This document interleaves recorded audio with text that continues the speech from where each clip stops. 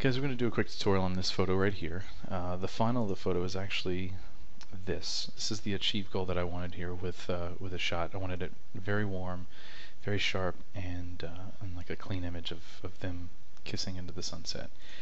Uh, the original image looks just like this. Um, one of the things that I did to it is I really wanted, like I said, a warm feel to it. So yes, we can always just bump up the uh, the temperature in there and, and get that warm light. When you go back to the original, you can see that the white balance on her dress is uh, is pretty close to original when uh, when you white balance there. So this shot right here is is one of those that we can do it two different ways. You can either bring it into uh, into Photoshop, do the selections around them, and then uh, warm up the background. Uh, one of the other ways that you can do it is try and go in here and paint the uh, the background in with some saturation.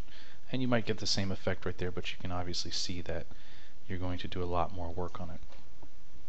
Going through and making all the way through. Like I said all the way through here you got to do each one of these. So one of the ways that I found to do it and I stumbled across this by this exact uh, means is as I was trying to saturate a photo and I actually had unsaturate on or desaturate where uh, my saturation was way down so boost your uh, temperature all the way back up where you want the desired effect to be. It could be here. I mean, if you want it cool, you can do the same treatment or effect that way. Cool doesn't work as well as uh, as the warm does in here. On this, we are going to now paint, uh, excuse me, paint in without auto mask on, and we're going to paint in some desaturation on the dress. I know this sounds really simple and easy, but it may be one of those things that are overlooked. And then the next step that I want to do is I do want to brighten it up. You can brighten it up a lot, darken it all the way through here. So once you use this adjustment brush, it is a very powerful tool. Um, and I really like them and enjoy them a lot. I am going to skip his jacket for this moment right here, but then the next step that you want to do here is uh, you're going to hold down the Alt key, or you can come over here and hit, hit the the erase so that we can undo what we're doing. Leave auto mask off. Feather is going to be relatively high. Do it about 65, or I got it. Um, size you can make to about 50. And then we're going to come in and undo what we did ever so slightly. I'm actually painting with the feather. So I'm painting where my crosshair is now, but using the edge of it. And you want to come in and just bring that in just slightly to get some of that warmth to bleed around the edge of her dress there. That back in since it is transparent. And we'll get this section here because it is a transparent area. And I got a little bit too much so what I want to do is undo my erase or click the alt button.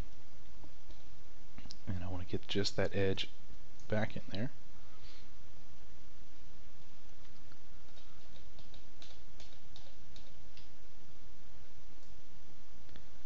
There we go. Get that We'll do it one more time. We'll paint on, on that edge right there. So the original that I did the other day, I want to see how close I came to it without going in back and looking through it. And it's relatively close. Um, but that is the that's the treatment that you want to do. I do have a little bit more warm over here that I probably could have desaturated. This is the ultimate final that I did the other day that I really liked, enjoyed it, and, and it really looked a lot better than uh, than just doing it with the temperature alone.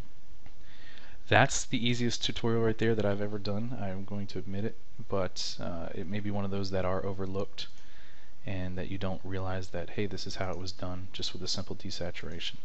Um, so just if you have any of those shots that you really want to warm up, but you don't want to have uh, the warmth go through every inch of that photo, that's the way to do it.